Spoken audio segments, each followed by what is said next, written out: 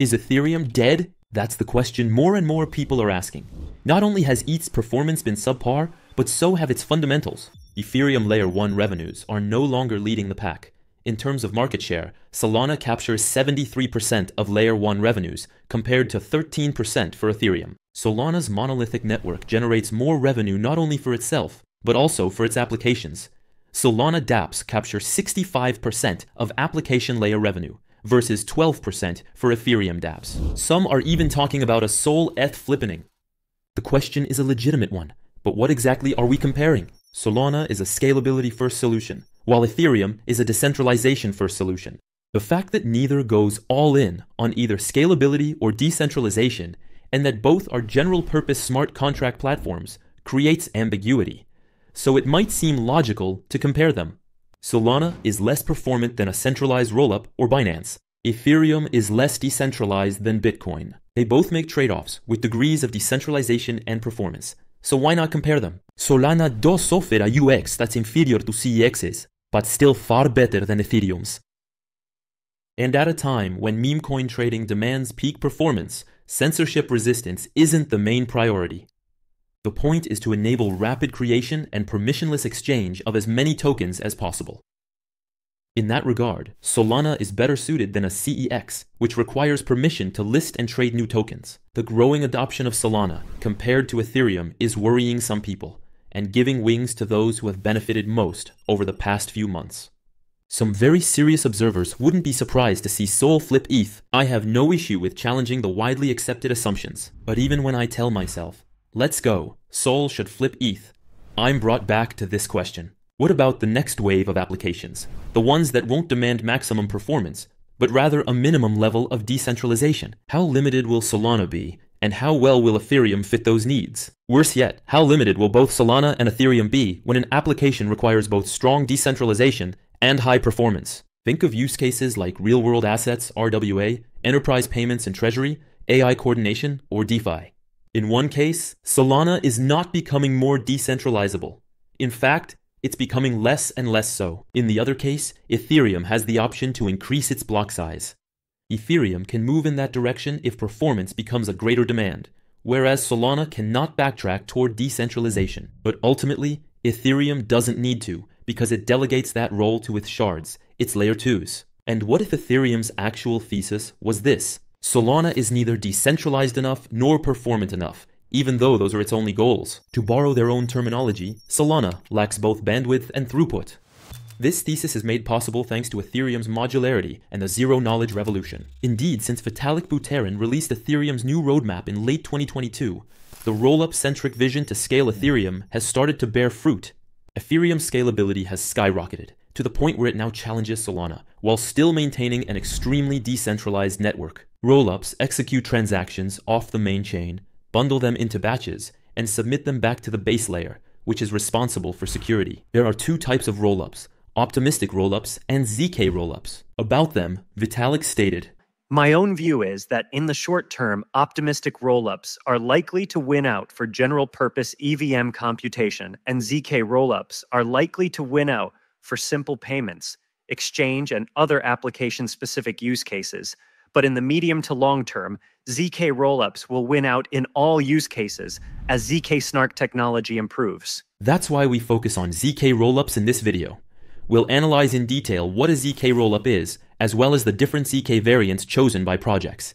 And who will be the next leaders in this great L2 marketplace? Let's get started. ZK rollups work with a prover, a proof generator, that creates a cryptographic proof attesting to the correctness of a given computation without revealing anything beyond its validity and integrity. This proof is then verified by a verifier. Once validated, it can be submitted to Layer 1, which can then verify the entire batch of transactions using that single proof. This system relies on zero knowledge proofs, ZKPs, a zero knowledge proof is a cryptographic method that allows someone to prove the truth of a statement without revealing any information other than the fact that the statement is true.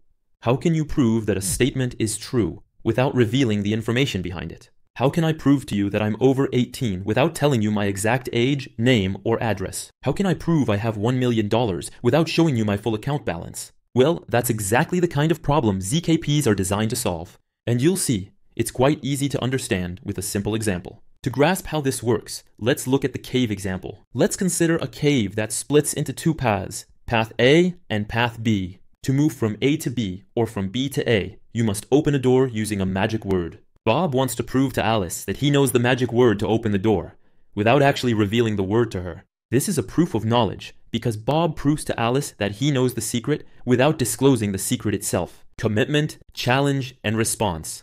Bob and Alice repeat the following scenario multiple times. Commitment. Alice stays outside the cave and can't see inside. Bob enters the cave and randomly chooses to go down path A or path B, e.g., by flipping a coin. Challenge. Alice turns toward the cave entrance and calls out a randomly chosen path, either A or B, asking Bob to return from that path.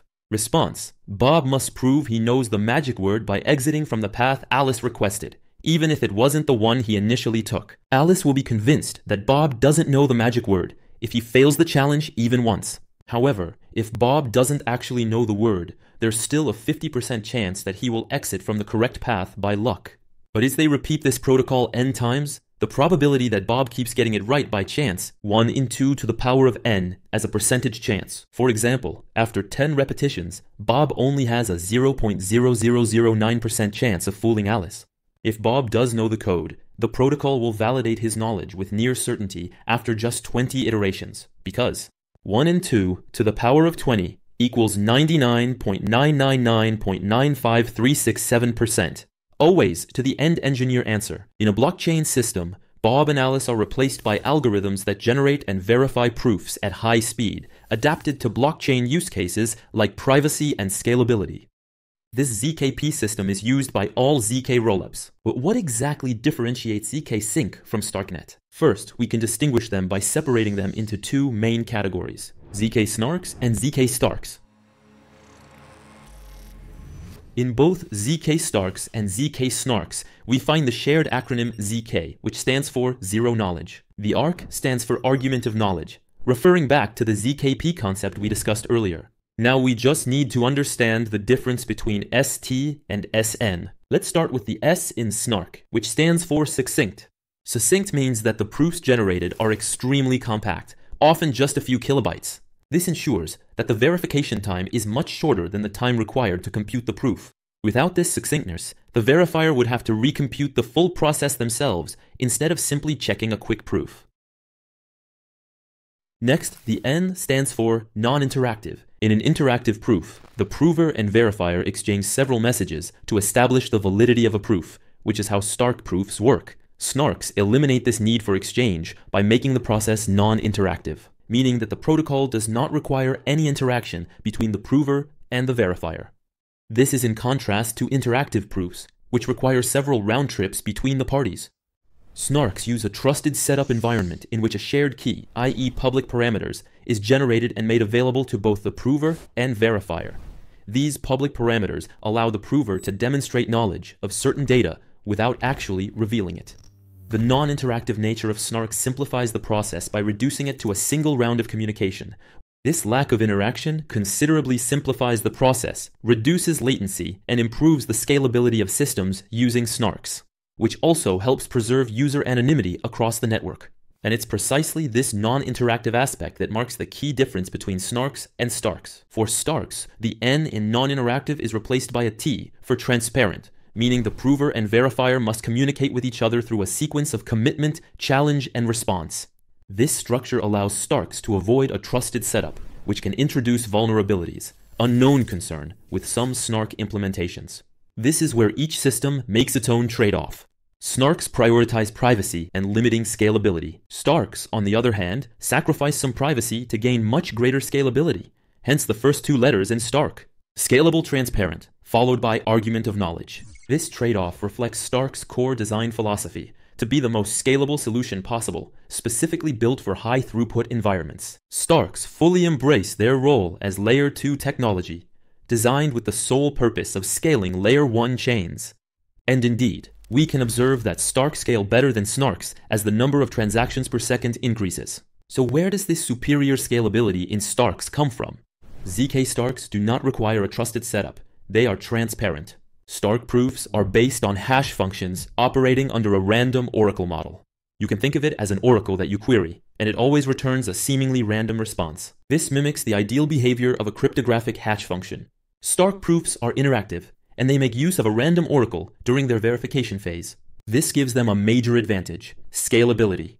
Indeed, Stark proof verification is very fast, and the time it takes grows sublinearly with the size of the data, unlike SNARKs, which have linear scalability. Starks require high computational resources, which inherently reduces decentralization due to the operational costs involved. Snarks, on the other hand, can more easily support a decentralized network because they require very little computational power, so much so that projects like Mina Protocol use them to prove their entire Layer 1, leveraging a wide network of provers, made possible precisely because of the low resource requirements. But is this difference really that important when we're trying to determine which one makes the best layer 2? In a layer 2 context, decentralization comes from the layer 1. The layer 2 posts its data and gets validated by layer 1, thereby inheriting its decentralization.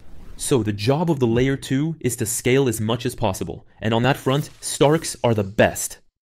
However, if the question is, which of the two, ZK Stark or ZK Snark, would make a better layer 1, then it's clear. Snarks win hands down because in this case, decentralization is the top priority. And who better to evaluate the best type of ZK proof for layer 1s and layer 2s than the creator of both Snarks and Starks himself? Yes, both technologies were co-developed by the cryptographer Eli Ben Sasson. He first helped create a ZK Snark based layer 1 with Zcash in 2016 and later participated in the development of Mina. Launched in 2020, he then decided to use ZK Starks to scale Ethereum at layer 2, first with StarkEx and later with StarkNet. There are very few rollups using Starks and many more using Snarks, which makes this a great way to filter out the projects that truly interest me. Turn the camera on. There's no budget left for editing. Starks use cryptographic hash functions, making them more scalable, but also more secure than Snarks. They do not require a trusted setup, and they are inherently resistant to quantum attacks. For Web 2 centralized systems and blockchain infrastructures looking to prepare for the era of quantum computing, Starks are the best path forward. We often talk about ZK proofs, but Snarks and Starks are actually considered validity proofs, because it's mathematically verifiable that the off chain computations being proven contain no fraud and are therefore valid.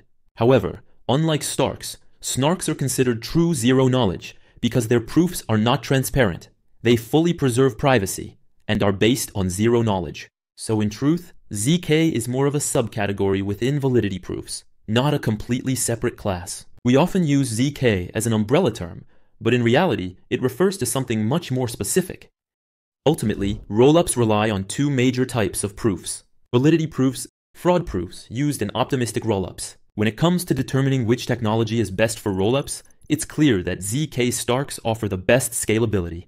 They compress the data of large batches of transactions, delivering the lowest possible transaction costs. And Stark proofs become even more competitive when published and verified on a layer 1 that is both storage constrained and extremely decentralized, such as Ethereum, or in the most extreme case, on Bitcoin, to such an extent that any use of rollups other than Starks on Bitcoin would almost certainly end up being either a sidechain or a sovereign rollup that performs only settlement without any data availability on the proof of work chain. This would require an intermediary, like Celestia, to handle data publication, or even a less secure alternative like centralized storage, for rollups known as Validium if ZK based or Optimium, if optimistic based. All of these variants, which add varying degrees of trust to an otherwise trustless system, obviously represent barriers to liquidity adoption, particularly for Ether, and even more so for BTC, which remains the most powerful catalyst in this market cycle. This is why ZK, and more specifically Starks, are a fundamental component of this cycle. Starknet's decision to deploy on Bitcoin is strategic and not just opportunistic. If you want to know more, watch this video. But first, it's important to understand that StarkNet is just the beginning. It's far from being the only one able to take advantage of ZK Stark technology today, even though there are different trade offs depending on the use case between Starks, Snarks, and fraud proofs. They shouldn't be viewed as opposing technologies because they're not incompatible. In fact, they're complementary. ZK Snarks can be used to prove ZK Starks, and even optimistic proofs can be wrapped in validity proofs, effectively reducing the typical 7 day challenge window. Radically pitting different types of rollups, whether optimistic or ZK, against one another isn't necessarily the right way to evaluate projects, especially those backed by strong development teams. Most teams understand the value of ZK technology for their projects, but they still consider it too heavy or inefficient at present. They are, however, aware of the ongoing and future advancements in this field, a space that is, importantly, deeply open source. More and more projects, marketed as ZK rollups, are actually launching as optimistic rollups in their early stages. This is the case with Movement, Eclipse, and MegaETH. Likewise, projects initially branded as optimistic rollups are now actively integrating ZK modules and ZK virtual machine builders to make ZK adoption smoother across the ecosystem.